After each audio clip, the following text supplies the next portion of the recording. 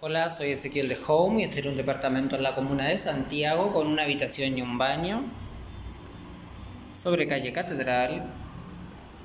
Tiene piso flotante, el living comedor, la cocina está totalmente equipada y amoblada. Tiene por aquí un espacio de home office. El dormitorio está alfombrado con terraza.